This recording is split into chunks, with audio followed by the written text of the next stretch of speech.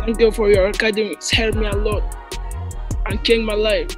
που α, με να συνεχίσω είναι ότι you know, σκεφτόμουν πάντα την οικογένειά μου. Δεν μπορούσα να σταματήσω. Δηλαδή δεν υπήρχε η επιλογή να σταματήσω. Πάντα πίστευα στα όνειρά μου ότι μπορώ μια μέρα να παίξω στο NBA.